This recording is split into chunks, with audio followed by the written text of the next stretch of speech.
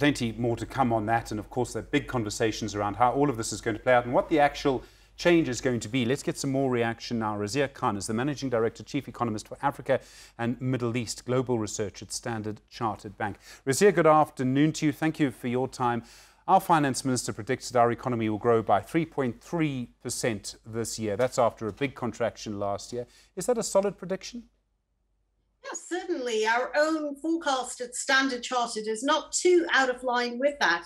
And what we have to take into consideration is that last year there was such a sharp contraction that it doesn't take very much to turn growth positive again. The expectation is that a lot less of activity will be impacted despite what we've seen with the second wave of COVID.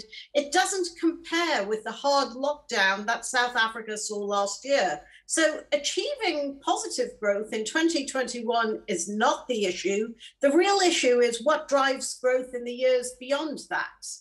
I mean, I didn't, maybe I missed it, but I didn't see a huge structural reform that is going to drive growth in the years beyond that. So the market reaction to the budget was overwhelmingly positive, but this was really because of the reassurances on the funding strategy. For bond markets, what everyone was focused on was what would happen to local currency issuance plans.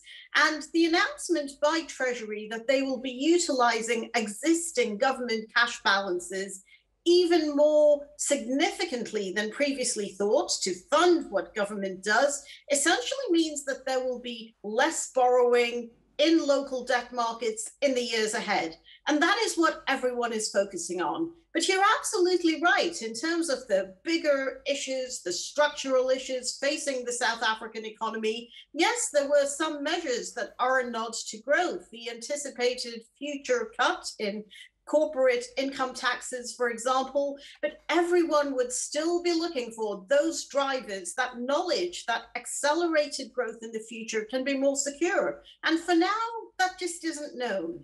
Uh, we need to talk a little bit more about our debt, of course. And I mean, Mboweni saying we'll stabilize government debt at 88.9% of GDP by 2025, 2026. Now, a lot of things need to happen. We need to have a vaccine, we need to have a growing economy, we need to make sure that there are no new variants that emerge of COVID 19.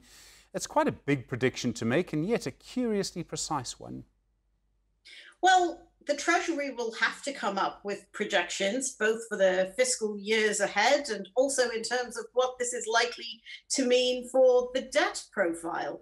The good news for markets is that, as alarming as the numbers are, and we need to put this in context, lots of emerging markets the world over have seen more expansionary fiscal policy, debt ratios changing very dramatically. The good news for the markets is that these numbers are still better than what had previously been outlined by Treasury in the medium term budget last year. Of course, you raise a very important point. There is so much uncertainty.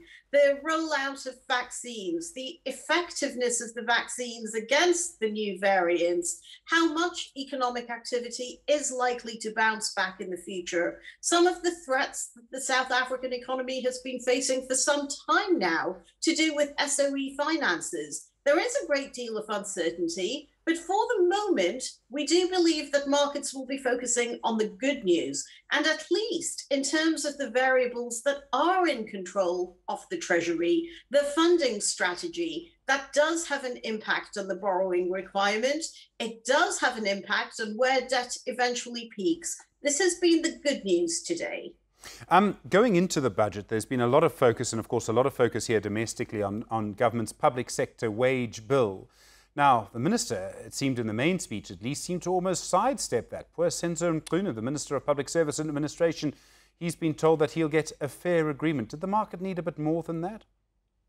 Well, went into this budget thinking the government had a court ruling go in its favor in December. Yes, there's still a little bit of uncertainty regarding how much of a wage increase the government might have to give over the course of the current fiscal year but it's probably negotiating from a stronger position. So, yes, there is this element of uncertainty. We know no more about future wage negotiations. We don't know for sure that this is going to go the way that markets would like to see, which is an outcome that allows the Treasury to say, we have altered the composition of spending in a pretty meaningful way. All along, we were focused on consumption. Now we're creating the room for greater investment.